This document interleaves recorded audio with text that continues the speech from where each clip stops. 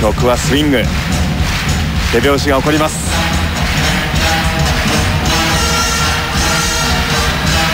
まさにアイスダンス。表情でダンスが繰り広げられています。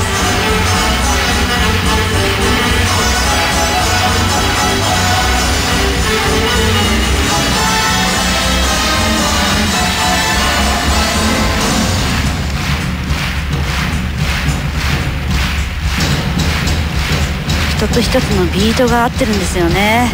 そこまで。音を細かく捉えたステップ作りですよね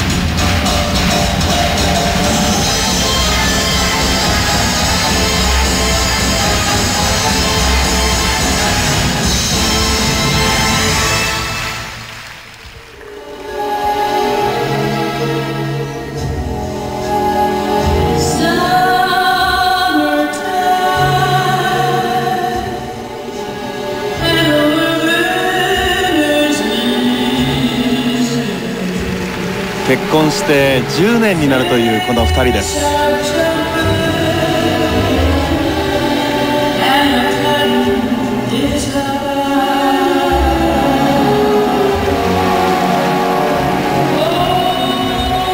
あこのリフトに大きな歓声です。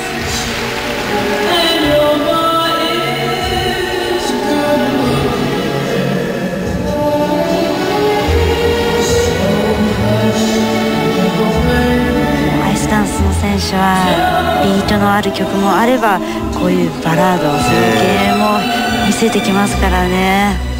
それがすごいと思います。そしてもう一回テンポに変わります。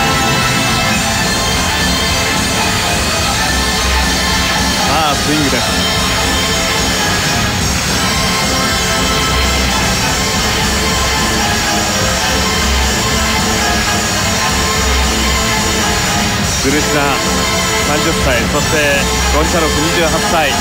この2人のリズムにこの代々木の観客の皆さんも一体化しています。